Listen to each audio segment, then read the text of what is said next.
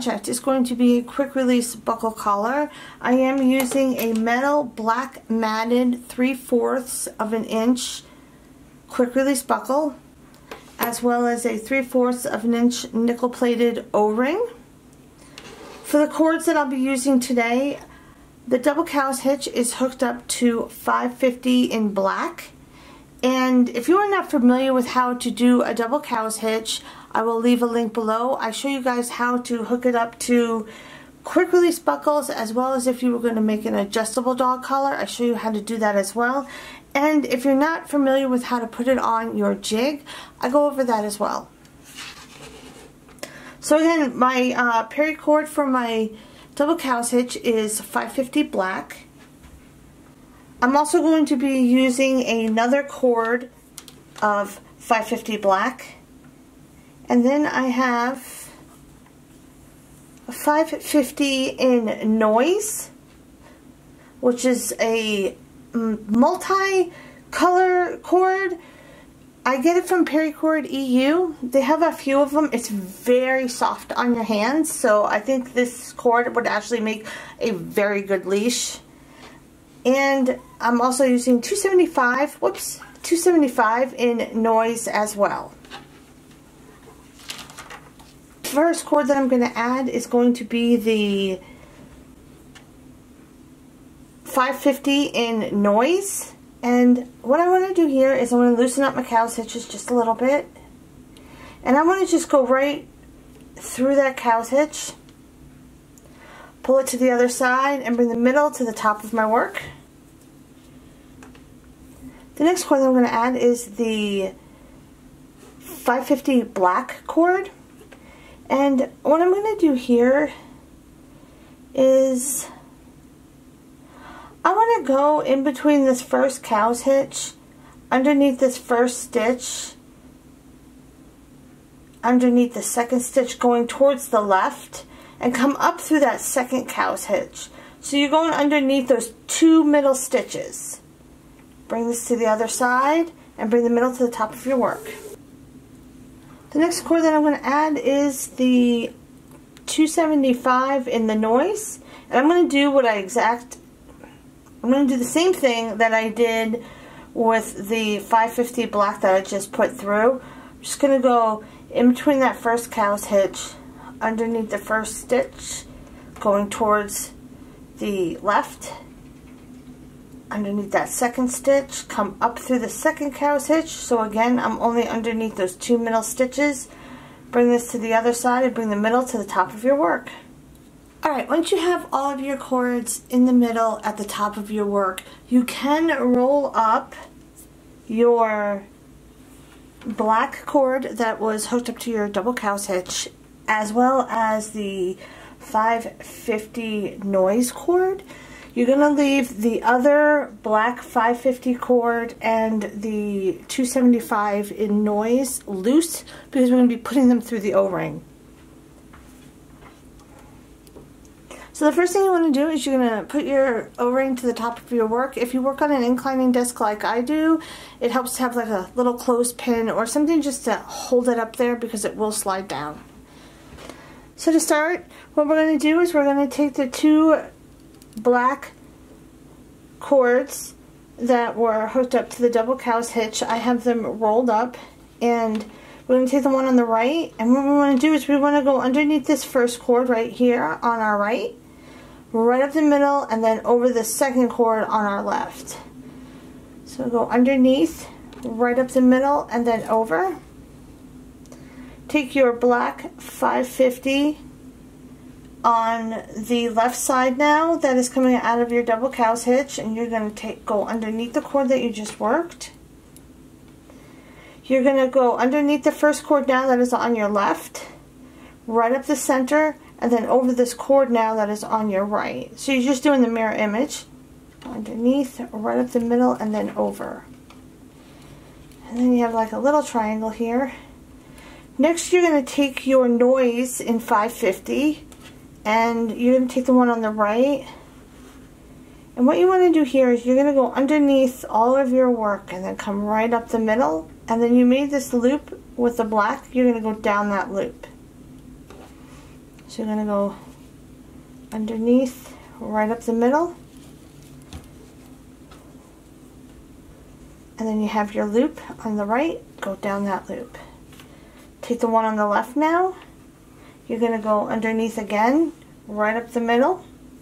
And then you have your loop that you made with the black on the left side. You're going to go down that loop. So you're going to go underneath, right up the middle. And then you have your loop down that loop. Okay. Now, if you if you have something holding your O-ring, you can take that off. What we're going to do here now is we're going to find the 550 black that we haven't worked yet. And we're going to push it through the O-ring. Just go down that O-ring with it. And this is a super long collar, so it's going to take forever.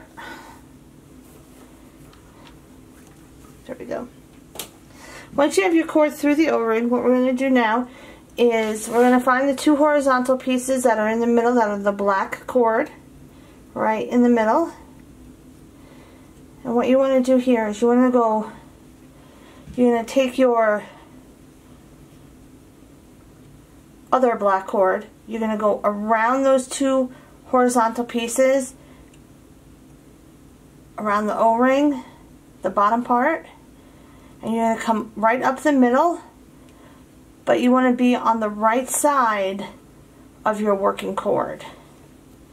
So take your black cord, you're going to go over and around those two horizontal pieces around the bottom part of that O-ring, come up the middle, but then just make sure that you're on the right side of your working cord, and then pull that through.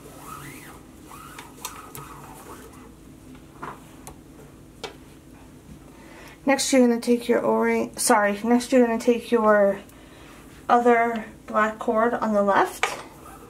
And again, you're going to go through the o-ring.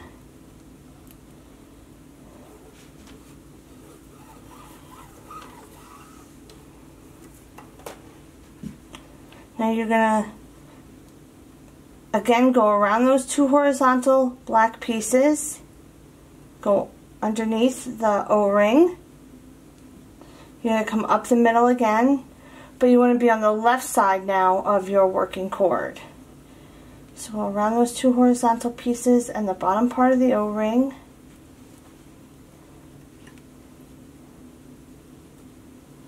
Come up the middle, but then just put it on the left side of your working cord and then pull that through. Okay, and now for the 275 cord, you're going to do the same thing that you just did with the black cord. Take the one on the right, go through that O-ring.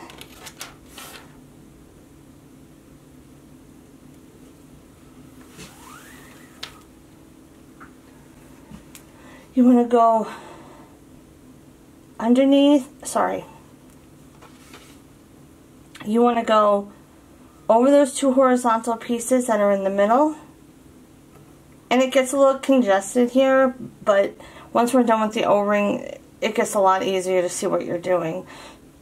Make sure you're in between the two black cords when you got it through the O-ring, and then you want to go around those two horizontal black pieces. You want to go around the bottom part of the O-ring, come up in the middle, but then it's the right cord, so you want to be on the right side of your working cord and then pull that through.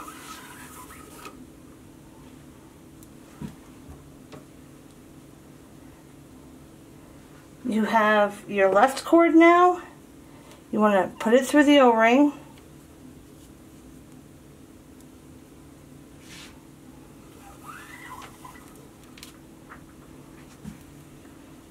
You want to go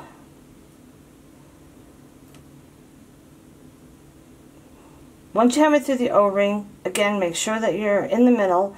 You want to go around those two horizontal pieces and the bottom part of the O-ring.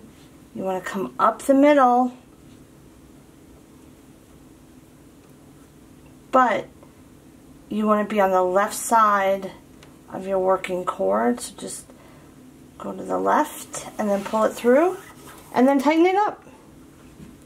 Once you have that tightened up, what you can do next is we can take our um, cords that we just worked through the o-ring and we can push those down. That will help flatten out your work a little bit more when you're tightening it up. Once you have them through and it's nice and tight, if you want, you can roll up the ends that you have loose and then we can just get started on the next weave. Because I'm working with two of the same cord, I decided to use, I ha have different colored rubber bands. I have my cord that is coming out of my double cow's hitch rolled up with these um, beige rubber bands and then I have the other one rolled up with these blue rubber bands. But if you don't have different colored rubber bands, and I do this very often, is I'll roll up one cord a little bit larger than the other, and that helps me to differentiate I don't even know if I said that word right, sorry. But that helps me figure out which one I'm supposed to be grabbing at which time. It just makes it a little bit easier. Now that I got all that out of the way, we can just get started again. So I'm going to be starting off with my black that's coming out of the double cow hitch that I have rolled up with a beige rubber band. And I'm taking the one on the right and I'm going to go underneath my first cord, right up the middle, and then over that second cord. Take your other cord on the left now. I'm going to be grabbing the beige rubber band one. Um, you want to go underneath the cord that you just worked underneath the first cord or right up the middle over that second cord. Next, I'm going to take my Noise 550 cord. I'm going to go underneath all of my work, right up the middle, and then down that loop that I just made on my right side. Take the one on the left, go underneath, right up the middle, and then I have my loop that I made with the black on my left, go down that loop. Now I'm going to take my two black 550 cords that are going horizontal and what I'm going to do now is I'm going to take my blue rubber band of my black and I'm going to go over those two horizontal pieces around and then out the right. Take the one on the left you're going to go over and around it and then out the left. And you're going to now do the same with the 275 cord you're going to take the one on the right go over and around and out the right side.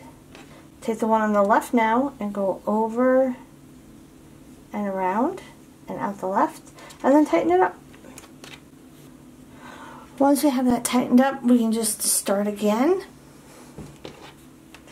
So I'm going to take my beige rubber band of black and I'm going to go on my right side. I'm going to go underneath, right up the middle, and then over. Take the one on the left, go underneath the cord that you just worked, underneath, right up the middle, over. Now I'm going to take my 550 noise and I'm going to go underneath all of my work, right up the middle, and then down that loop on my right, take the one on my left, go underneath, right up the middle, and then down that loop on my left. Now I'm going to take those two horizontal pieces and pick up on them a little bit. I'm going to take my blue rubber band black and I'm going to go over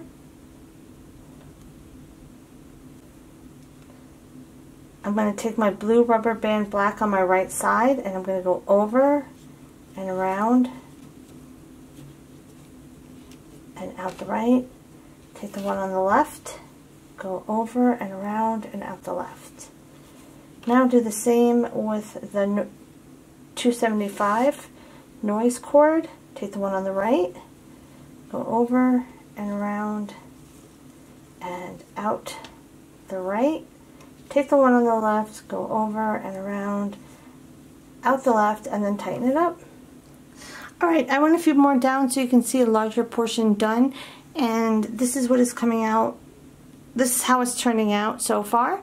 And I'm going to just continue this weave all the way down the collar until I get to the end. I'll show you guys how I do my tie off and what it looks like when it's completely done. Okay, so I'm at the end of my collar and I took it off the jig and now we can weave in the top cords that are coming directly out of the top part of the collar. So for me, that is my black and my 275 noise cord. The other cords we're going to cut and melt where they are. Okay, so you have a, a gap in between your work and your double cows hitches. You have this gap right in between. You are going to put both of your black 270, sorry, you're going to put both of your black 550 cord through that gap.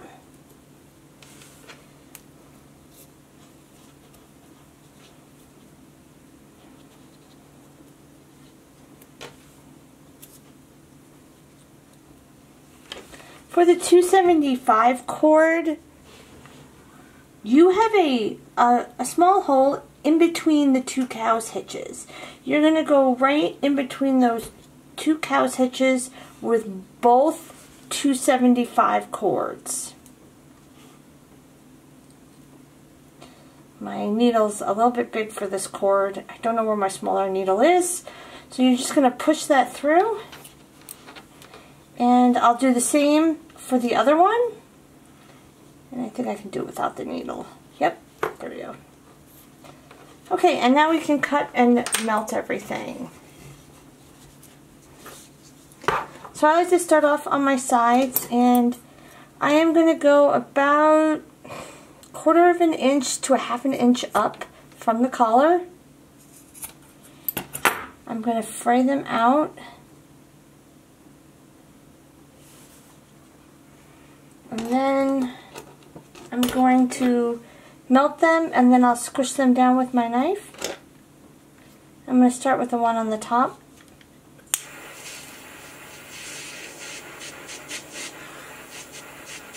Try not to let it catch on fire. It does happen. And squish it down. I'll do the next cord.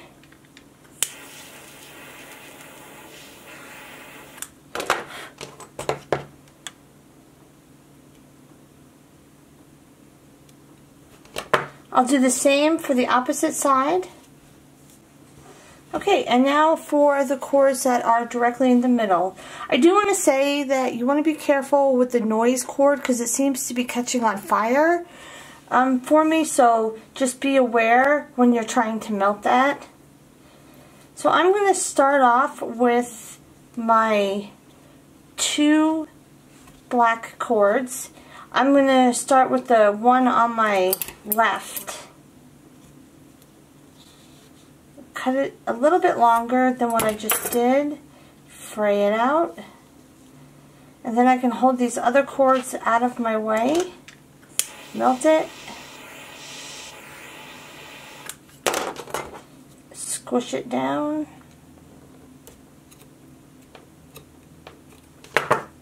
Next, I'll do my other black cord, and then after that, I'll do the cord uh, the 275 cord, the one on the left, and then I'll do the one on the right. I'm going to cut them a little bit longer because they're catching on fire, um, and I just want to make sure that I have enough to melt and squish down.